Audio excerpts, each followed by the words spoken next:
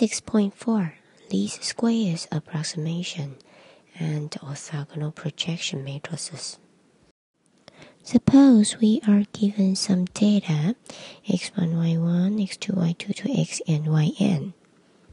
We can plot the data on the xy plane.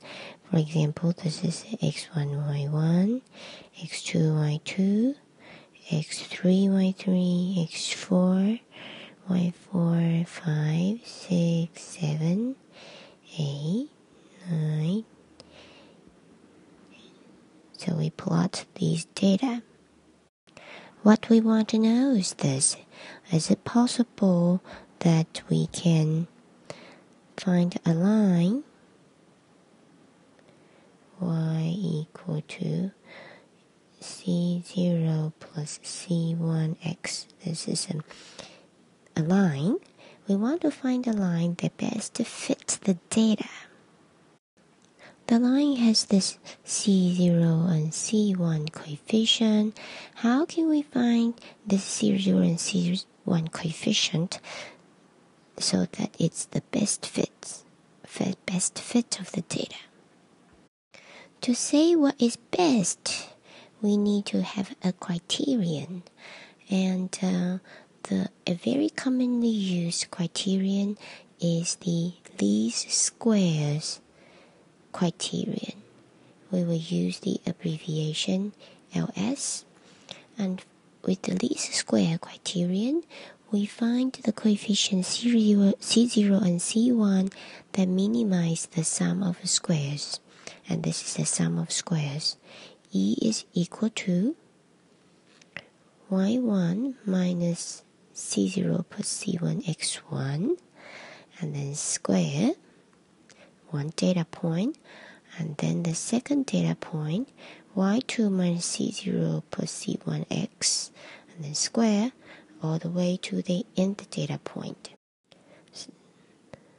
Suppose this one is x1, y1, and if we look the first look at the first term here, y1 minus c0 plus c1 x1.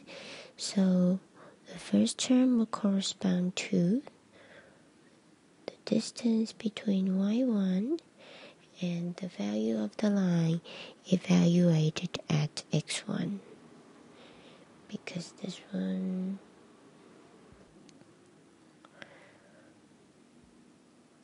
the value of the line evaluate x1 and then the second term let's say say it's this one this is x2 and this is the distance square is the second term.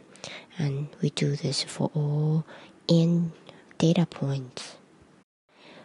When we find C0, C1 that minimize the sum of squares E, this method is called the method of least square. And the solution of C0, C1 that minimize E is called the least square solution. The line for which E is minimized is called the least square line. Now let's solve the least square problem and see how it is related to matrices and vectors. Let's reformulate, rewrite E in a vector form because it has its sum of squares.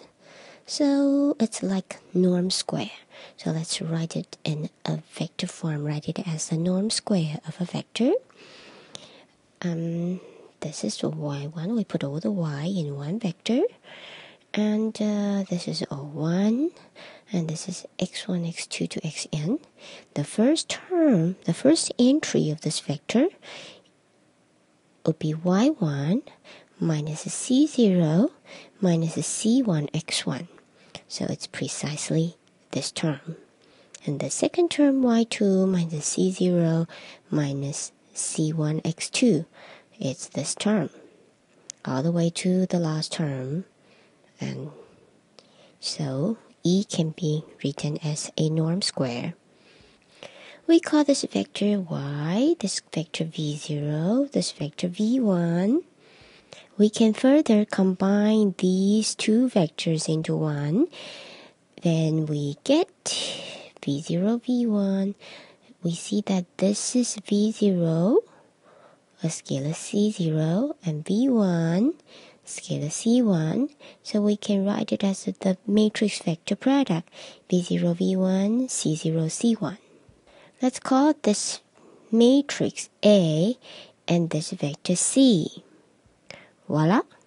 We get this in um, vector form, y minus ac. So the problem now here is this. We are given A. A is this V0, V1. So V0, V1. Yes, indeed, V1 consists of these x1 to xn data point. So A is given and y is given. y is this y0 to y1 vector. y given A matrix given y vector, we would like to find C that minimizes E.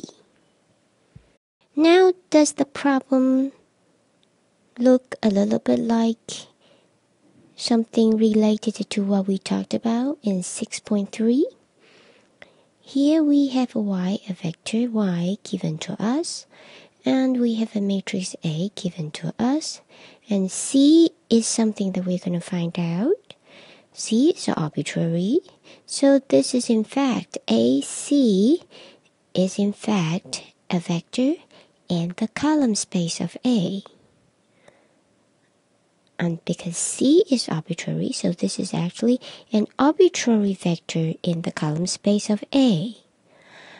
So given a y vector, we would like to find a vector in the column space of A that is closest to y.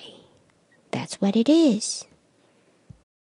So how should we choose AC? AC is a vector in the column space of A. And we would like it to be as close to y as possible. So how should we choose this vector? AC? This vector should be something about orthogonal projection, isn't it? This vector should be the orthogonal projection of y on which is subspace and the column space of A. So if we call W to be the column space of A, the subspace of column space of A, then AC should be the orthogonal projection of Y on the column space of A. If we know the orthogonal projection matrix, then this can simply be computed using PWY. Now let's talk about how we can solve such a system of linear equation. Let's consider the system of linear equation like so. On the right hand side, it's a vector PWY.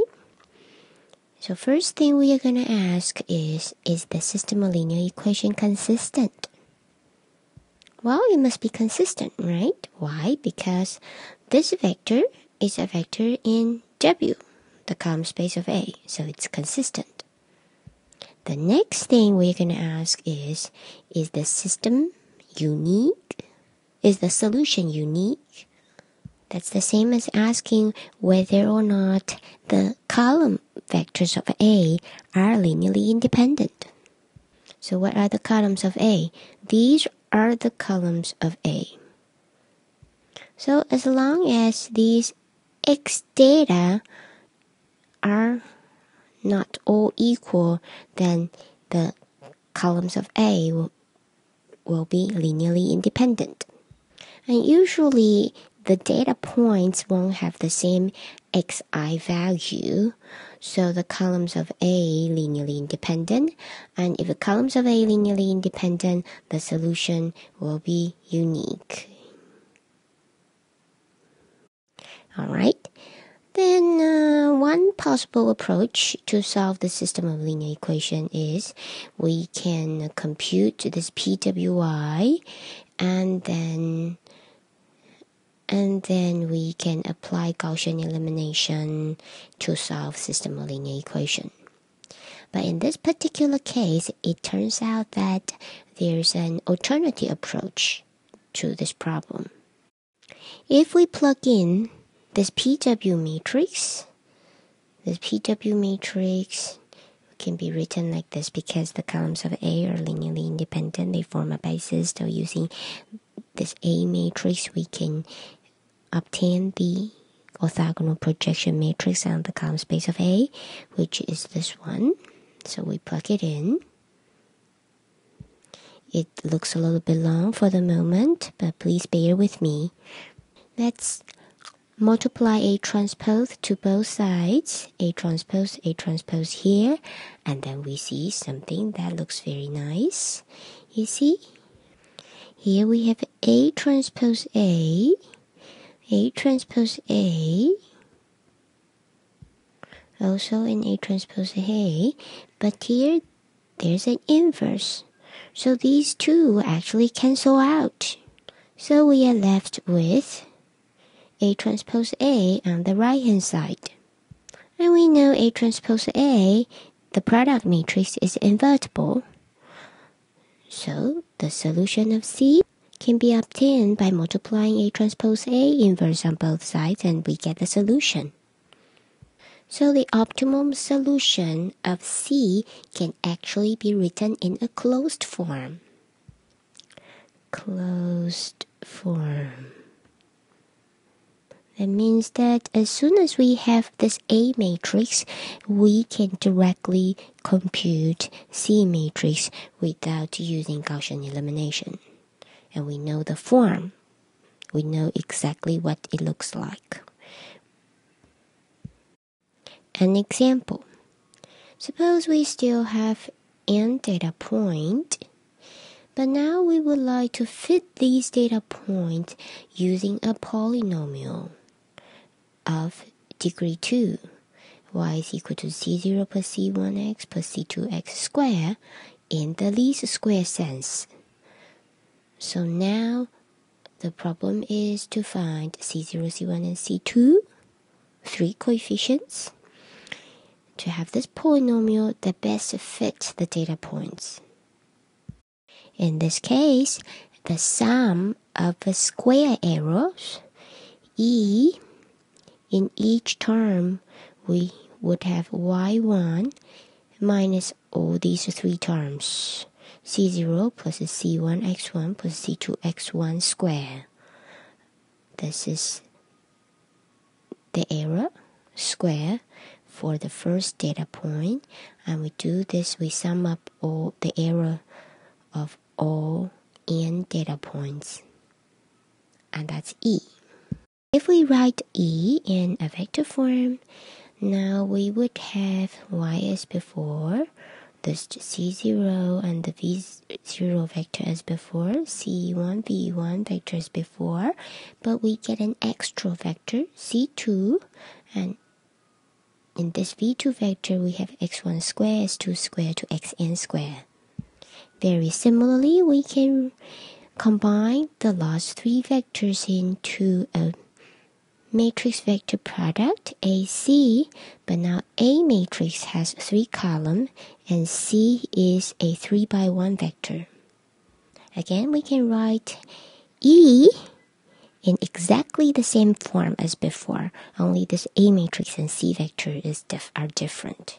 And again, the best C ve vector would be such that AC is equal to the orthogonal projection of a y vector on the column space of A. This subspace here is the column space of A. This method can be extended to find the best fitting polynomial of any degree if the data set is large enough. If we have the polynomial of a higher degree, then we would have more column vectors for A and more a C would be a vector of more entries.